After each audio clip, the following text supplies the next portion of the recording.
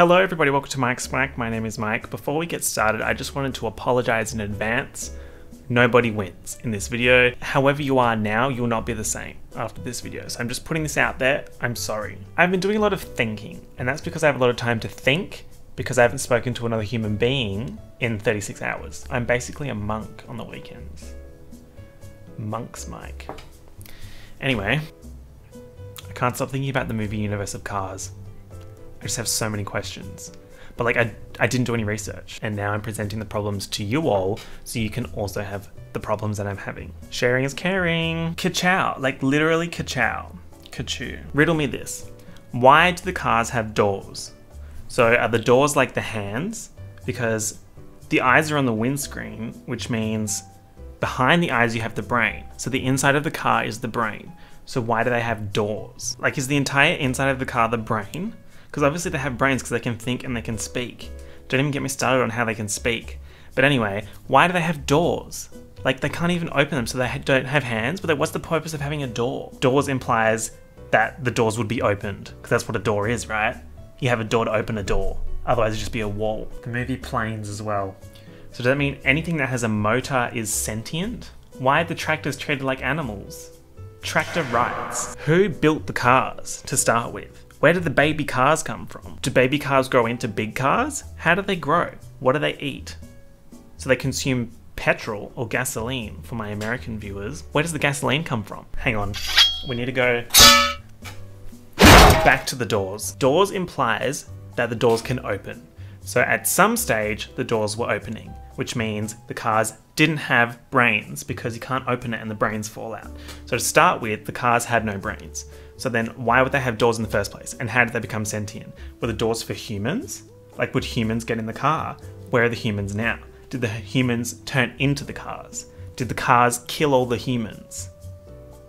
What's the timeline? How is their history here? Why is there a Pope car? Like I know the Pope has the Pope Mobile, but is that car the Pope Mobile or is that car the car Pope? Because car Pope implies that there's car Jesus. Now, what type of car would car Jesus be? Because these cars are representative of the era of the actual historical event, because we have the Sarge car who fought in World War II or something, and he's like a World War II era car. So, does that mean Jesus' car is like a stone? This goes way deeper than I thought, I'm honestly vibrating because I had a coffee, and this is just like accelerated the process so much. Is Jesus' car like a horse and a cart? But there are no horses, or were there horses? Much to think about. Why is no one talking about this? It shocks me. It's horrific that nobody's discussing this because it's so important. So Sarge car was a World War II era car, which implies that World War II happened in the Cars universe.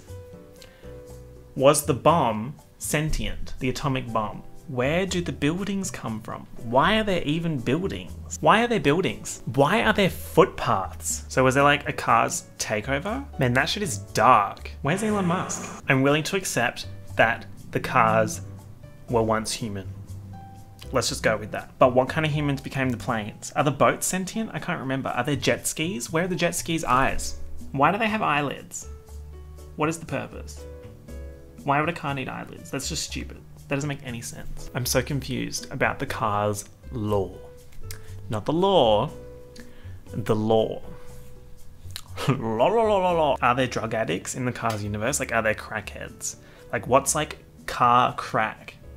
Is that like Valvoline? Do they have jobs to afford the petrol? Like, do they have desk jobs? Are they car desk jobs? How does a car sit at a desk? What are the car jobs? I mean, we know that there are car jobs because there are reporters for the races and then we have the races themselves. Does that mean that there are car software developers? Like a version of me that's a car. If there are interviewers, that implies that there are interviews, which implies that there are TVs.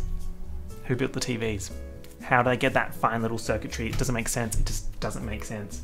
They have no arms. How can they do circuitry? Oh, yeah. Are there other planets? Are the spaceships sentient? Like, if a car got in a spaceship, Could they go to Mars? I'm not over the car religion thing. But then I was thinking, cars are kind of like modern day horses. Like, let's just ignore the fact that there are modern day horses that are actually horses. Let's ignore them. Sorry to those horses. Sorry to this man. Let's assume that the cars are what horses were, but now they're like intelligent. That kind of makes sense. But how did the horses turn into the cars? I don't know. Why are there planes? First of all, why does the planes movie exist? That shouldn't have never happened. Do boats have like a different personality? Like, are there things in the ocean? Like, are there animals? Are there other. Blah, blah. Did every living thing become a car? Where do all the dead cars go? Where does all this material come from? Like, that's a lot of steel. That's a lot of metal. That's a lot of rubber. Do they have really bad pollution? Why are there skyscrapers? Was there a Cars Dunkirk? Did they storm the beach? How did they get to the beach? On a boat? Who built the boat? If I was a car, what type of car would I be? Now that's a question that I can't wait to hear the answers for. Back to the space thing. The movies imply that there are gravity because the cars are driving on the ground and you have like all the laws associated with that, which implies that normal rules of physics apply. Do cars going to space have like helmets, like astronaut helmets, because they can't survive the atmosphere? because they breathe for some reason on the Earth.